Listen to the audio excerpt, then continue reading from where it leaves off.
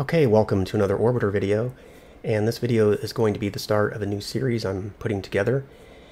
The goal for this mission is to go from Earth to Mars, but instead of landing at Olympus like I've done in a couple of previous videos since coming back to Orbiter, I'm going to instead target one of the moons of Mars. Um, I haven't quite decided yet, probably Phobos, Unfortunately, HalBase doesn't work with Orbiter 2016. I tried to install it and it just looks all messed up. So we're probably just going to have to pick an arbitrary place somewhere on the surface of Phobos and land there. Now I will kind of reveal some some of my own thinking behind this mission. I was actually trying to put together a new mission where I was going to go from Earth to Jupiter and land on one of the moons of Io but since I'm so out of practice, I found that while I was trying to record that video, I was spending so much time fumbling around uh, with Transx that I it just I didn't think it'd make for good content. Um, and as it is, you know, I tend to record everything I do, and some people have commented that I fiddle around too much. But again, I have my reasons for that, which is, you know, when I look back at my own videos later, I enjoy seeing every little thing I did, so that it so that I so that I remember how I did those things.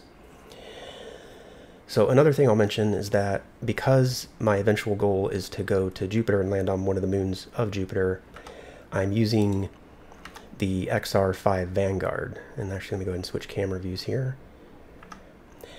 So I'm using the XR5 Vanguard because, um, you know, fuel planning will be a lot easier, I think, with this vessel versus, you know, trying to use the XR2, which I tend to think probably can't even make that mission, I'm guessing. At least not without doing uh, fuel edits and uh, maybe dialing back the ISP or something like that. So with all that said, uh, let's go ahead and jump in and get started. I have a few more thoughts rattling around in the back of my head, but we will have time to talk about those later. The only other thing I want to say is that for this particular mission, I'm I did a little bit of a shortcut since I already found a good date for Mars in previous videos, I'm using that date so that I don't have to sit here in Transx and, you know, fiddle around and try to find a good launch date. So this date that I have up here, October 29th, 2026, I found in a, you know, previous mission that that seemed like a good time to go. So that's what I picked. So we're, but I haven't set up Transx yet. So we're going to have to go through all of that.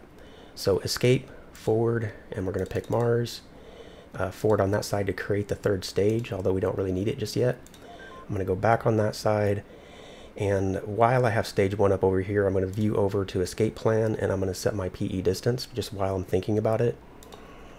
So I'm going to enter in uh, 6571 and uh, technically it's 0.01 I think to get a perfect uh, 200 kilometer altitude target.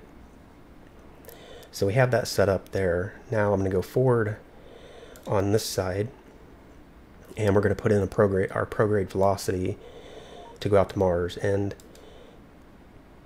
I don't I shouldn't need to adjust the date at least not by much um, because again this date that I'm using here 61342 should have us arriving at Mars at uh, I forget what the date was but it was pretty close to here. So I'm just going to add in some prograde Oops, I went the wrong, no, yeah.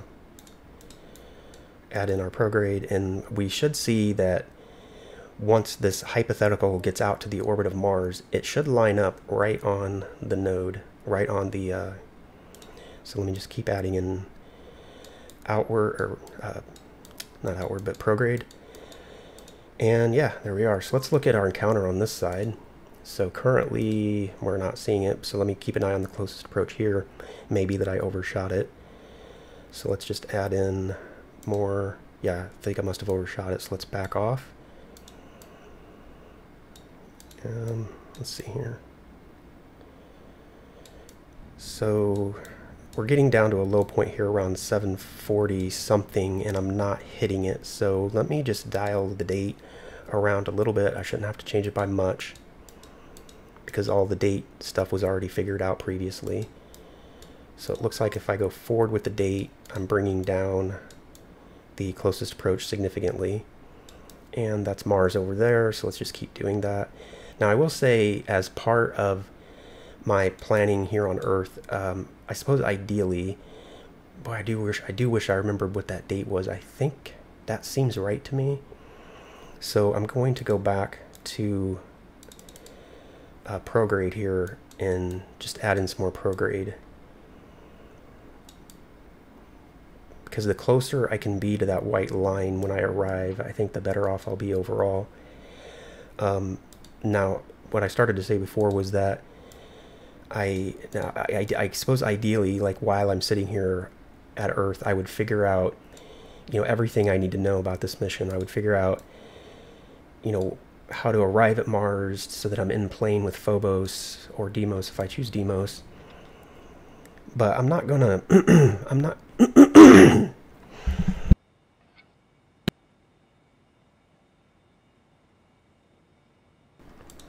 Excuse me. Uh, I'm not going to try to figure those things out just yet. Um, so, so our planning isn't going to be, you know, the best. Uh, but I, it seems to me like when I've done this previously, I kind of did the same thing. It's like I'm just going to go aim for the planet, and then when I get a good long way out away from Earth, then I can start adjusting my plan a little bit. So that's what I'm going to do here. Not as realistic as it would be, you know, if uh, actual space engineers were planning this mission, but but I'm not an actual space engineer. so now I suppose we should pay close attention to our inclination there because most likely um, the moons of Mars orbit in a normal inclination because this has this has us on a retrograde inclination arriving at Mars. Not that it matters so much at this point because so much of this is going to change between now and our arrival. But let's just take a look so we can at least think about it. So we'll reference Mars. I'm a bit dehydrated. I went on a bike ride this morning and it's um, and we're going to target Phobos and the inclination of Phobos around Mars is uh, one degree. So yeah, it's very uh, it's it's very equatorial. So we'll, we'll want to arrive with a well, we want to plan to arrive with an inclination that's close to zero. um, but yeah, what I was saying is I, I went on a bike ride this morning as I have been doing a lot over the last several months. And, you know, it's June in Florida, so it's really hot here. and I was I drank over three liters of water on my ride, and I'm still super thirsty. All right, so I'm just going to try to tinker around just a little bit with the date just to make sure that our inclination's coming out the other side. Uh, again, it's not super critical at this point. So there it's wrapping around. And there we basically have it. And this shows us with an inclination of 43, which is quite steep. But I just, I, I'm just, I just, I don't think it matters right now. I just I feel like the inaccuracies of these MFDs um, is such that we don't have to worry about those kinds of details as long as we're in the ballpark at this point because once we get into up, up into orbit we're going to set up a whole new plan anyway. So I think we're just going to take this. It's good enough. So 61343 is our launch date but I okay that works because that's tomorrow 61342 61343 that works. So this is the plan we're going to go with. Um, one thing, um, I probably don't have to worry about fuel with the Vanguard. Uh, let me check how much Delta V burn time says we have, although we're on a body right now, so 10 kilometers. That's more than the XR2 had, so we should have zero problems with this mission. But LOX will be an issue, I imagine. Yeah, it says we have 14 days. So our time of flight is 285 days, so we need at least that much. Uh, but I'm not going to be stingy on the LOX. So let's just go to the payload editor. And again, there's a whole thing you can do where you can have, uh, I think this was mainly for Wideawake, where you can have a whole simulation where the vessel pulls up into a hangar and cranes come down. But I'm not going to, I don't, I'm not going to mess with all that. I don't even know how you would do it with this version of Orbiter. And we're just going to open the payload editor. We're going to go to a LOX. and we're just going to put uh, let's put put it in one. And then we can do control down down. And that gives us 314 days which I think is yeah 285 is what we need. So two 314 although we will be going to Phobos. And you know what we might do? I didn't even think about this just now but maybe we'll come back. Maybe when we land on Phobos that'll complete the mission we'll hang out for a while and then maybe we'll come back so if we're going to do that we might be there for a while so let's take you know, again, let's not be stingy. Um, so that gives us, uh, what is that? You know, a couple years, uh, well, multiple years. Three, you know, I don't know, that's like four or five years at least. Five times three is 15. So I'd say that's probably probably around five years. Let's take extra just in case. And if, the, if we are actually thinking about coming back, uh, maybe we'll need some fuel. So let's uh, take some fuel with us. Now, there would be a logical way to plan how to put these inside of the vessel because as we burn off LOX, we want to be able to eject those modules so that we can lower our DV. Let me actually take a quick look at the payload area. I wasn't planning on doing this, but now that I'm into it, I'm thinking about these things. So let's open the doors. We'll time warp forward to get through that. And turn off the APU. We'll refuel all that stuff when we're about ready to go. But my point is, so if we look at how these modules are put in, if I end up stacking something on top of these, then that means we won't be able to eject the thing below it. But right now it looks like we still have plenty of room down here to include some fuel. And without getting into fuel planning and all that, I'm just going to start including extra fuel modules all the way across the bottom. I don't even know how much that is, but as we burn off, uh, as we empty these fuel tanks, we'll be able to eject those, and as we burn, as we um, use up our LOX, we'll be able to eject those. So I don't have like if I put the LOX on top of the fuel and we use up the fuel first, it wouldn't be terribly realistic or convenient to eject the, the module on bottom. So I think you get the idea there. So that's going to be our loadout. Uh, and obviously I didn't plan anything there, so this loadout might not make any sense at all. Probably doesn't.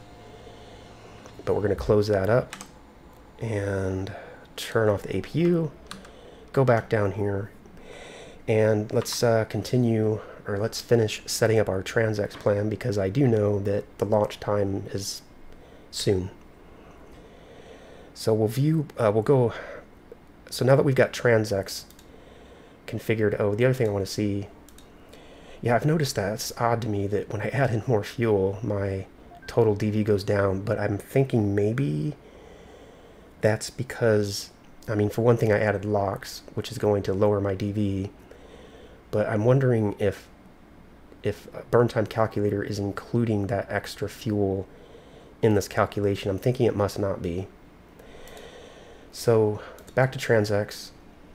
We'll go back on this side and we'll go back on this side and we're just going to, I think the last thing I need to set up is just my eject orientation. So as before, uh, white line needs to be over the green line. That's the bottom line. And, and there's two ways we can do that. And I see this, uh, the way the way this hypothetical line is coming around Earth, I don't like it. So I'm going to view over to setup, change my graph projection to maneuver, or plan rather, and then view back over to the escape plan, and we're going to set this eject orientation so that it's uh, so the white line is directly over the green line, and then we're going to check our heading. So this heading has us going straight south, not ideal. Um, but if we, or it's almost straight south, but if, if we flip it around the other way, it's going to be, you know, 180 degrees opposite, so it's going to be almost north. Uh, luckily, we still have a way, we still have a day before we have to take off, so we're just going to sit here on the runway and let Earth rotate. So with all of our stuff shut off, let's make sure we have external cooling turned on. I don't think I ever did that. So let's do that. And again, right before we take off, we'll go ahead and top up all our resources just to make sure. Uh, so now that we have external cooling turned on, everything else off. We're just going to let the Earth rotate. so that we can get a better a better heading on our takeoff. And if for any reason I miss my launch date, I'm not worried about it. So my eject date is 343.2. Yeah, for any reason I missed that, I think this plan's flexible enough that um, you know we can we can take off a bit later than that. Okay, so that heading there would be terrible because that's 259, which is almost straight west. So that's actually good news though, because that means if I flip it around the other way, it's going to be almost straight east, which is what we want. As much as possible, we want an easterly heading. And there we are. So, and it's still going up, right? Let me just warp time forward. Yeah, it's still going up. So that means we're getting closer to 90. So let's just uh, let time pass. Let's not be too aggressive on our time warp though, because we might overshoot. If we do overshoot for any reason, we can use the scenario to rewind time, a little, scenario editor to back up time a little bit, but we would prefer to just get it right the first time, preferably. And we're getting really close to that point, just uh, three degrees off. Right now would be perfectly acceptable time to take off, but we'll go ahead and warp time forward just a little bit farther and bring down our adjustment to a finer setting. And okay, so we're, we're really close to 90. So I'm uh, coming up on 20 minutes on this video. So what I'm going to do, I'm going to control S to do a quick save. I do have transx loaded, so transx will get saved into the scenario file. And then I'm going to press uh, my camera switch here. I meant to pause the simulator. So I'm going to pause the simulator right there. So we're ready to go. So when we come back in part two, we're going to take off, get into orbit, and that might be a little interesting because I am in the Vanguard, and it's I, I remember from previous flights from years back, the Vanguard feels like a tank compared to the XR2. You know, the XR2 has you know it's it's so it's comparably it's so lightweight that it feels like you know like flying a motorcycle or something. You know, just has a ton of pickup and a ton of agility and the XR5 by comparison is, you know, like trying to fly a tank. so that's going to be it for part one. If you did like the video, leave a comment down below, and I'll see you in the next part.